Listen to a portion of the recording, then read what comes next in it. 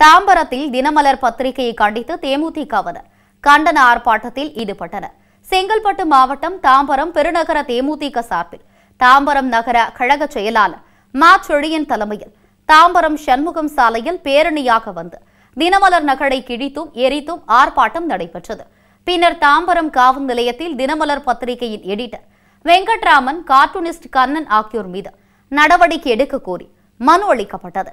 இதில் மாநில பொதுக்குழு உறுப்பினர் ஹரிகிருஷ்ணன் நகர துணை செயலாளர்கள் கேட்டு தர்மா சதீஷ் மார்க்கெட் ஞானபால் மாவட்ட பிரதிநிதி சரவணன் செயல் ரவிக்குமார் ஆற்றல் குட்டி மாவட்ட மாணவரணி துணை செயலாளர் டி முருகன் கழக தொண்டர்கள் மற்றும் மகளிர் அணியினர். ஏராளமானோர் கலந்து கொண்டனர்.